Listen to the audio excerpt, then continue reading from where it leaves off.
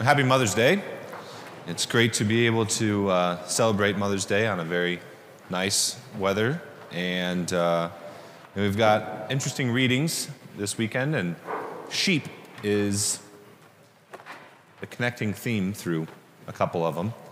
And though I grew up small town Rockton, I didn't really have any exposure to sheep. You know, there's some cows. You had the Oreo cows and whatever, the dairy cows.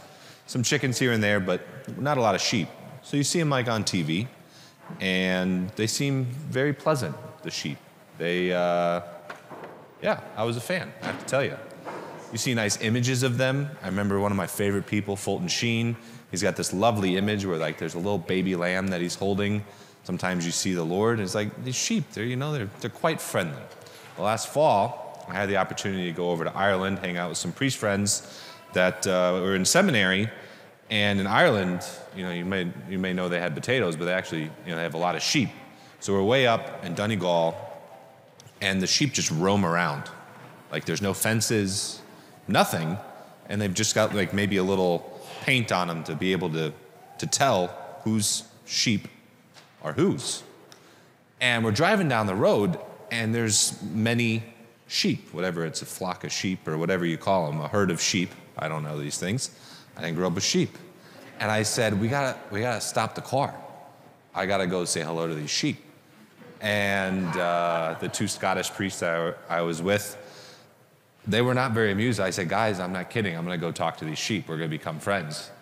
And I was just really excited for these lovely little sheep to uh, hang out with me for a couple minutes. So I got out and, and I go over to the, like the four sheep. And once I got about like 15 feet away, they didn't look at me. They didn't acknowledge me. They gave no indication that I was there other than they head in the exact opposite direction I was heading and just ran away. And I'm just like, what the heck?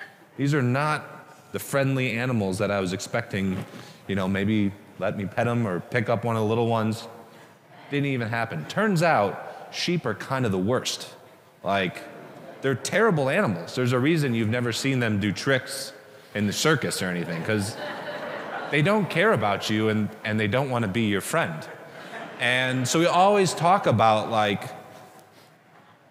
I am the shepherd and, and you are my sheep. The Lord's been giving us like a backhanded compliment for 2,000 years. like, we're kind of the worst. We don't care 95% of the time about being his followers at all, right? But there is a specific relationship that sheep do have with their shepherd. That in all the chaos, like when they are locked in and, and trust someone, they will follow that voice through anything. They will always follow that voice, right? But every time, once in a while, you know, we go away. And that's why the Lord talks about going out, leaving the 99 to get to one. And when he picks them up, they usually have to break their legs. Otherwise, they're just going to go off again, right? Oftentimes, we don't really know where that voice is coming from. We're just being the stubborn sheep, right? But The Lord is sitting here this Sunday and saying, I'm the one you need to be locked into. I'm the one who will bring you to the Father, who will keep you safe amongst all the crazy turmoil that's out there, right? So the question is are we locked in with, with the Lord? Is He the voice that we're hearing, or are we following some other shepherd?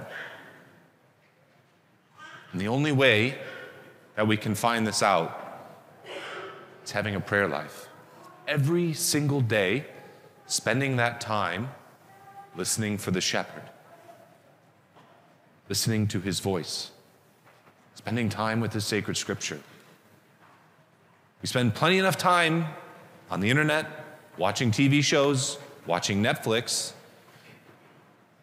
And honestly, oftentimes that's the voice that we're getting pulled by, right? So we need to spend that time in prayer.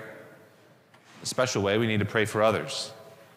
There's really no relationship like that of a mother that she gets on her knees and prays for her children. I'm so thankful for the relationships I've had with my own mother, my grandmother, my godmother, my heavenly mother, Mary, and many spiritual mothers who've prayed for me. Otherwise, without that, I wouldn't be here. The power of prayer is incredibly real.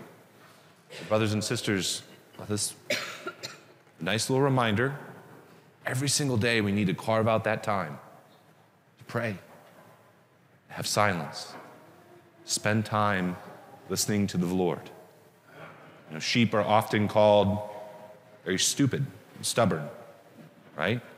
Let us not be the stubborn sheep that when the Lord calls, we don't hear his voice, but that we go straight to him, allow him to bring us home.